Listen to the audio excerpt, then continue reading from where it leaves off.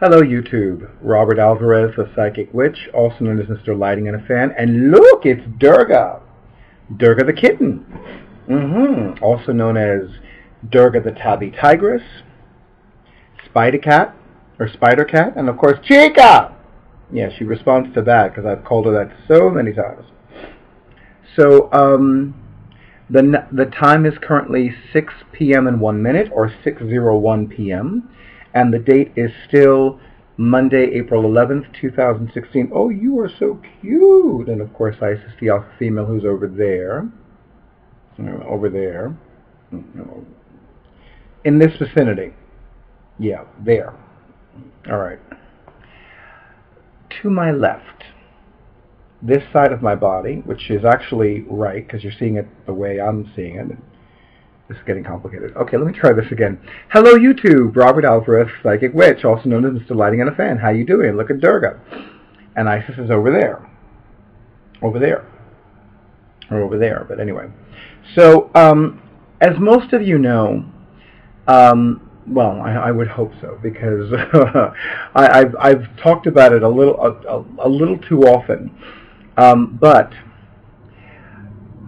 the short of it, the long, to make a long story shorter, um, there was a divine orchestration that took place last year that I didn't even realize was taking place last year.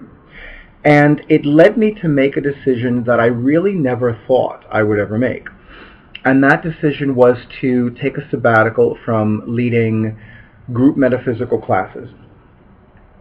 This sabbatical for 2016 has also included taking a sabbatical from participating in group metaphysical classes as well as um, participating in group rituals. Now, for the record, I have made a few exceptions, and only when it was really important. For example, um, earlier this year, in fact, it was the day before my birthday this year, Catland had an amazing panel discussion on professional readership. Given that I'm a professional reader, it would have been, um, well, I would have been a fucking fool not to not to attend. Especially since it was the day before my birthday. I'm like, you know, how many? I, I, I don't need a more clear and evident sign. I got the clear and evident sign. I participated in it. It was phenomenal.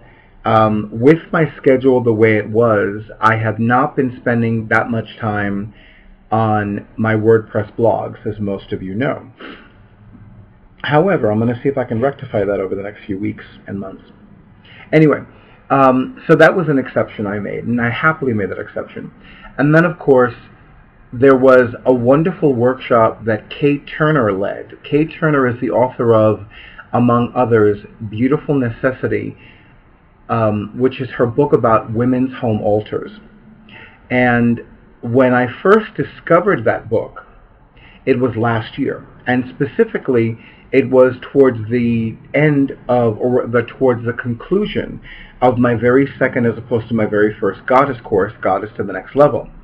So for me, I knew that I needed to participate in it, and I'm so happy I did. So I knew that an opportunity might present itself here for to make exception and lead a group class. Well, exception is taking place um, on Friday, May 13th, 2016, which is the only Friday the 13th of 2016, the year of divine completion. And I am extremely excited about it because I'm going to lead a divine prosperity work at Catland and it is going to be my first group ready class in Brooklyn.